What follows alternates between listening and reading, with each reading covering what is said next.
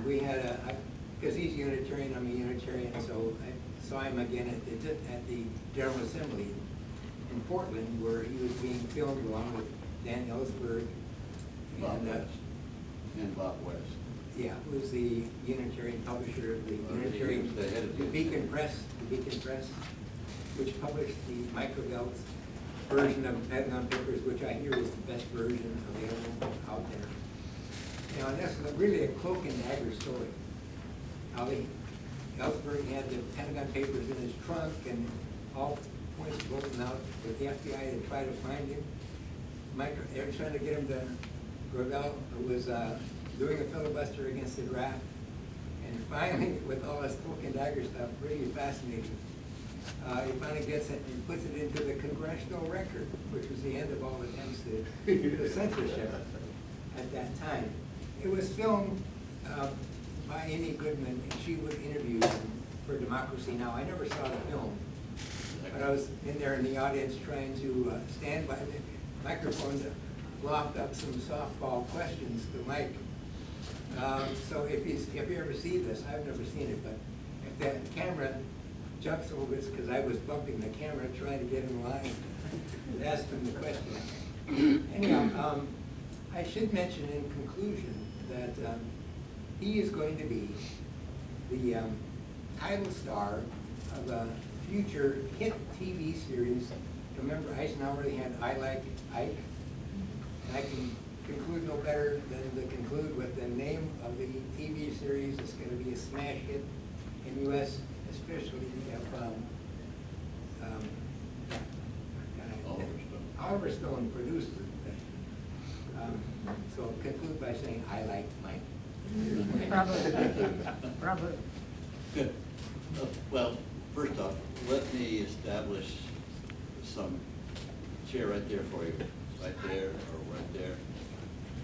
Uh, I will discourse for a while, but then I really enjoy questions because you can't get thoughts across if you don't get your interpretation of what I've said so that I can either affirm or correct. So that's the rules. Now, if you, uh, if you'll give me, I know we've got an hour and something, but I'd like to spend at least uh, a half hour, to three quarters of an hour with questions and dialogue. So that means that I'm gonna limit myself to about a half hour talking. Then you give me a sign so that I know, and then they'll give us close to an hour for Q and A's Yeah, and the discussion. reception items will come here immediately around two forty-five. So naturally, we can. We can, we can slip into the reception. Yeah, we can probably do both things. It, it's whatever pleases the group to want to discuss. And all of your guests for the, please, yeah. for Got another one coming. God, open that door. We've got to need, need every guest we can. Uh, good.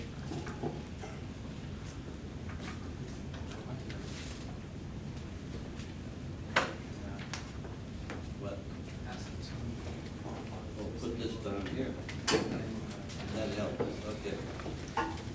Um, I generally like to, to use a cliche that's very famous in uh, history, and that is, we live in the best of times and we live in the worst.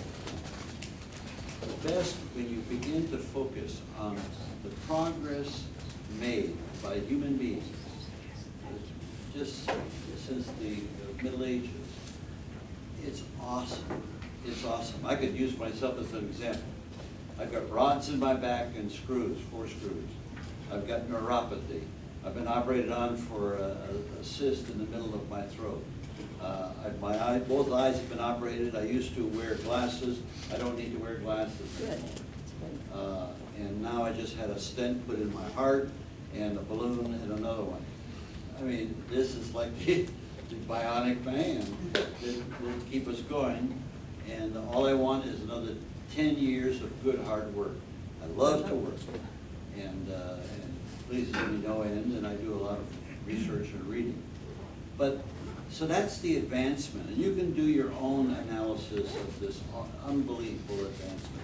Particularly now, here, this is a telephone. And Jobs has come out with now the tablet, which I'm gonna wait six months, a year before I get it, because I, I'm still learning this one, and I've had this for two, three years. But it, but this is awesome technology, it's at our, at our fingertips. And that's what science has done for us, science and medicine, uh, science and, uh, in farming, uh, you name it. You look around and you're awestruck as to how well off we are as a human race. However, it's the worst of times, because with this scientific advancement, we have willy-nilly put ourselves in a position of total self-destruction. Now, we see the immediate self-destruction dragging out with the environmental problem. And it's slow, it's a slow death. And so unless we can get a handle on correcting what we do in the environment, uh, we will die. There's just no two ways about it. And we're not doing a good job at that. Secondly, you've got the atomic era. Uh, He doesn't say much about it, but he is a physicist uh, from uh, Southern California. And at one point, was gonna work for Lawrence Livermore Lab for uh, did nuclear work. bombs. No. And They tried to emigrate to Canada. they that's right, they, they blacklisted him from coming to Canada. Now, I was in the intelligence service when I was a young kid. What we used to do is follow scientists like him around when they traveled abroad, so we make sure they wouldn't defect. I mean, we were, we were crazy. One of the reasons why it's so easy for me to understand the stupidities of what we're doing now is that when I was twenty-four years old, I was a top secret control officer. I could stamp documents top secret. And when I was forty-two years old, the United States Senate, when they sent over the Pentagon Papers, I could only go read them, and there were two guards, and I couldn't take any notes. Can you imagine how unbelievably uh, warped the bureaucracy is, that when I'm twenty-four, I could classify and declassify, and when I'm forty-two, as a United States Senator, I could not take notes, and they were under guard. Eh, it- nous étions détraqués totalement. Détraqués. So, so when you recognize the dangers of our nuclear capability, we were safer when you had MAD, mutual assured destruction between the Soviet Union and the United States. Now, we don't even have that safety. Now what we have is the proliferation of nuclear capability. It's a lot more complex than that. You know, Al Qaeda is not gonna get a bomb anytime soon. Maybe a dirty bomb, but not a real bomb.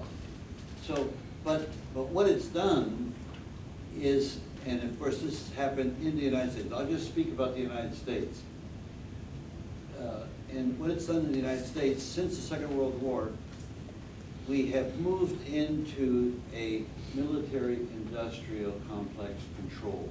Eisenhower uh, warned us of that uh, in, uh, and, and not a single president since has even acknowledged the problem.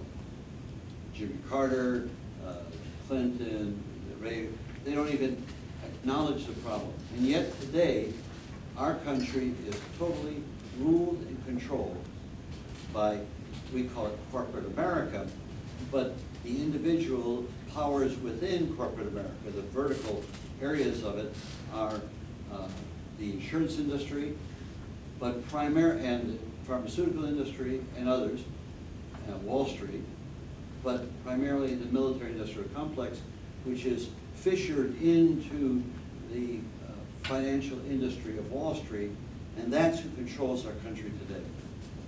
And you'd say, well, boy, that's really unfortunate. Well, that's what happens around the world. All the countries are controlled that way. Canada is, Europe is. Uh, There's only one country that doesn't, uh, two that I know. One is Switzerland, and the other is Costa Rica. Costa Rica made a decision not to have an army.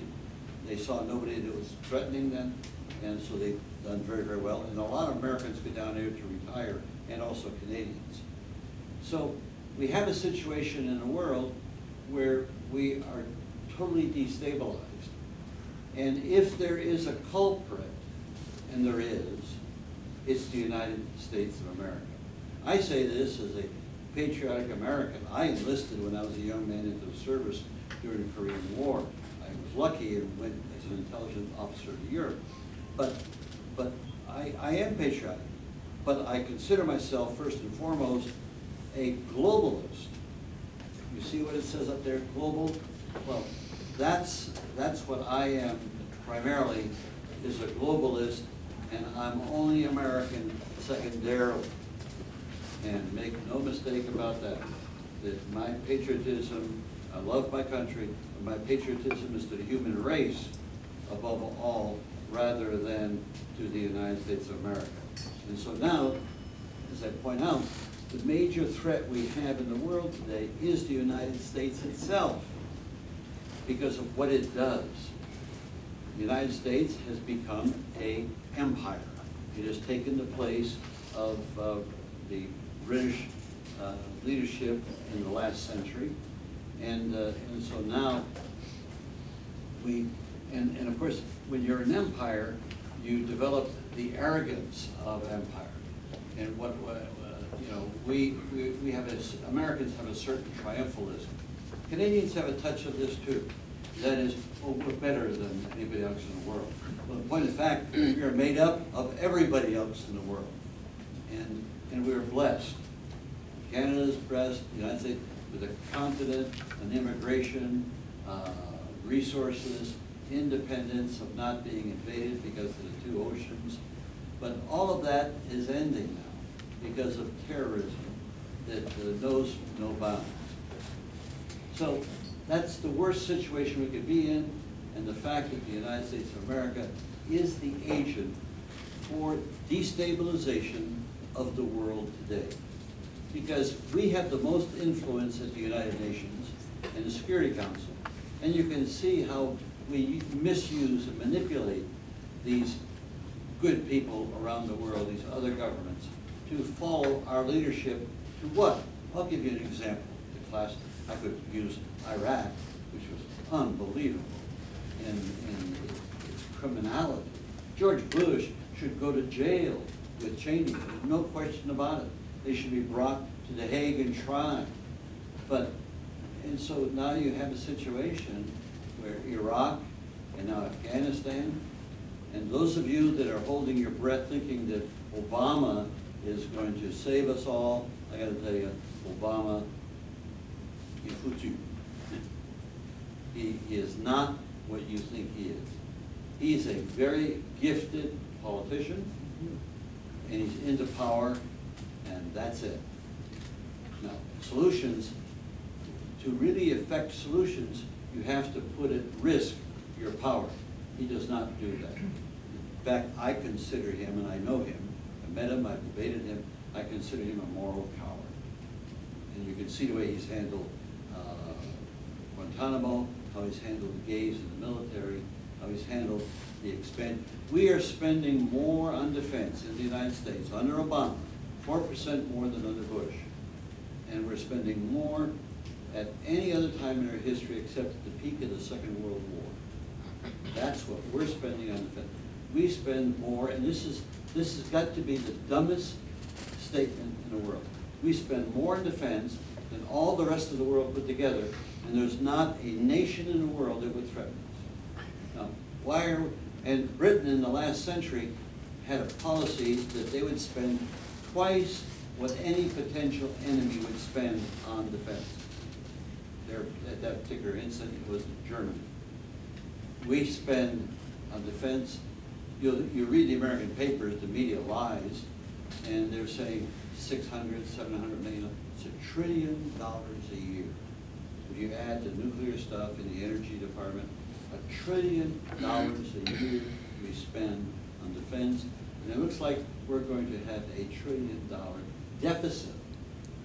And, and you saw the meltdown, I could go into that if you want to, we can do it in question and answer. But, but that's the situation that we are in, and we are the leaders, the self-appointed leaders of the world, and we feel it's our obligation to go into any country we want. Now, people will identify this problem with the presidential leadership. That's just a half of it. In 1999, the Congress of the United States passed a law called the Silk Road Policy. I I doubt that any of you have heard. okay?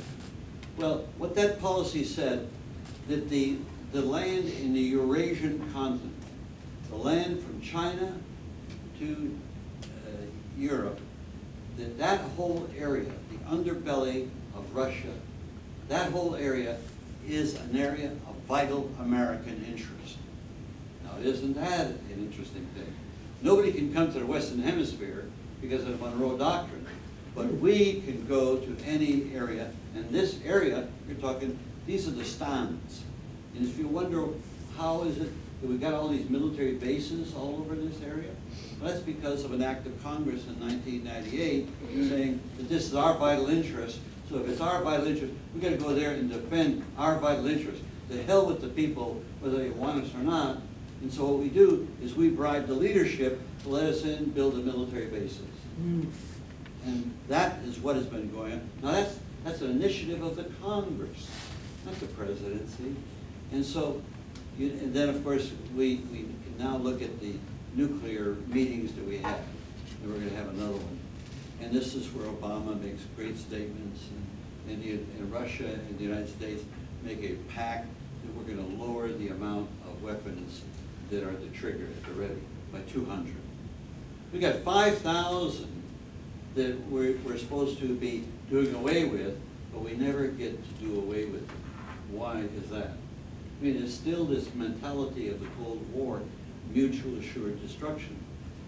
And so, if you look, at another idiotic, you realize that the United States of America has, what, fifteen hundred nuclear weapons that can be fired in instants, aimed at China, our banker, aimed at North Korea, who's not a threat to anybody but themselves, aimed at Iran and aimed at Russia. Now, is there anything more insane? No human being, no human being of conscience would dare use an atomic bomb again. But we have several thousand pointed at people, instant, instant use. Uh, It, it boggles the mind. Wh- What, where have we advanced to as a human race?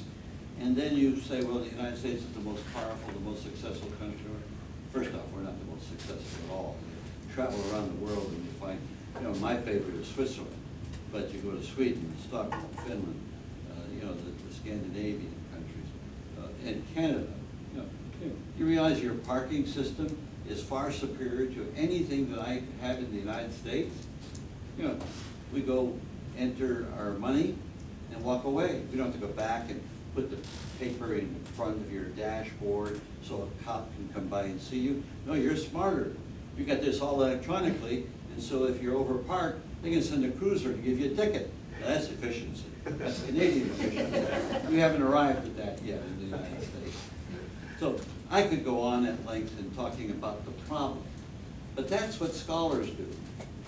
And though I have four books out there, and I consider myself a, a half-assed scholar, so to speak, the, uh, the, the problem is not defining the problem. That's easy. You get to look around and be observant, and you know the problem. Whether it's the media, which is totally controlled by corporate America, and of course does not tell the truth. And uh, so, what is the solution? Well, reason with me now. There's only two avenues, and this, is- this works in a constitutional environment or a, an environment of parliamentarian, please. And so, there's only two possible venues for change in terms of governance. One is the government, which essentially, what's controlling world society today is representative government, which we call democracies, but they're not democracies. They're really, the best definition is representative government. And so, that's where the problem exists. And the structure of representative government is very, very deficient. And what's the only other avenue? The people. So if you're going to look for a solution, don't look to the government, because it cannot correct itself because of human nature. So you have to go to the people. But, know, Canada has this not at all. The United States has twenty-four states. If you look at the progression of governance, the Swiss started in twelve ninety-two with uh, the Bundesbrief, which is the beginnings of a federal system, federation. And then the United States came along with the first written constitution in uh, seventeen eighty-seven, and that's a, it's a, it's not a good constitution. Oh, Americans will tell you our constitution is the greatest. It's not a good constitution, not even democratic, very, very undemocratic. Keep in mind, Americans put in place slavery for, for perpetuity. Now, that says it all. Slavery is what we thought was the basic economic uh, posture of the United States, from the get-go. So, so now you have a situation that, uh, and if you recall, the next major step was in eighteen forty-eight, when the Swiss, in terms of governance, brought the people into the operation of government as lawmakers. They did not do much lawmaking until the turn of the century. And at the turn of the century, in the United States, a group of states began, and it was as a result of the total, total despicable obscenity of the corruption of, of capitalism and government that progressives got elected and they put in place the initiative, or what they called at the time IRR, Initiative Referendum and Recall. Well, you don't need recall, you don't need referendum. All you need is initiative, because once the people can make a law by initiative, it takes care of anything you want to address. And so these twenty-four states put it in place, but at the time, and that was a great human advancement. But at the time, they didn't have enough experience to realize that for that to work properly, it must be totally independent of representative government. And so what we have in the United States, are twenty-four states, where the process is totally corrupted by the fact that representative government controls the process through the judiciary and through other devices. So that's the next progression. Now, please come in, please, there's uh, seats over there. Okay, and so that's the progression of human governance, and I'll address on the board, maybe I want to do that now. Yeah, let's go to the theory. And let me point out. We, in theory, we are all sovereign as individuals. You are sovereign not because it's written on some piece of paper or a law you call a constitution. You're sovereign because you're born as a human being. You have sentience. And so that's what makes you sovereign. Not a government, not a piece of paper, you're sovereign.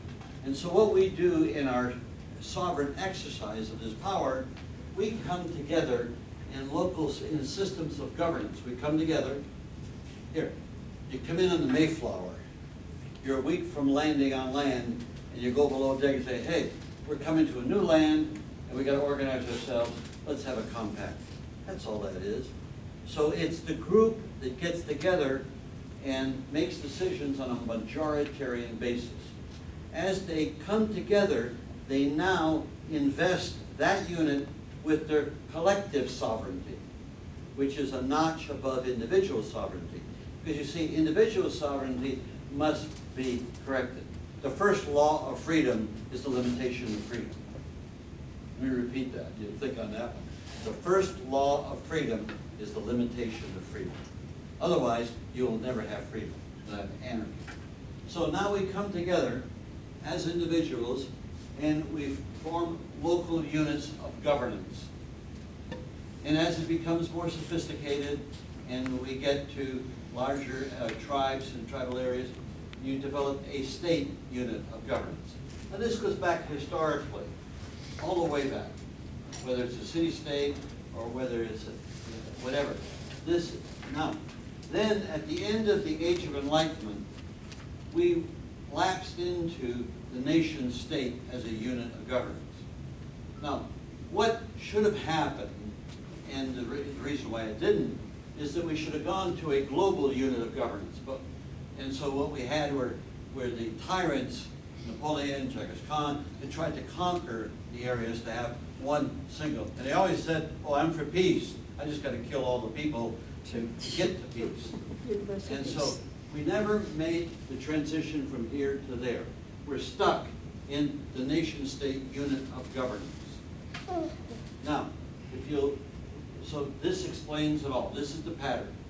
Now, the challenge is to go to the individual in a way that they can act independently of the structures of representative government, so that they can, and which, what they do now, is they give a portion of their sovereignty to the local government, they give a portion to state government, and they give a portion to national government.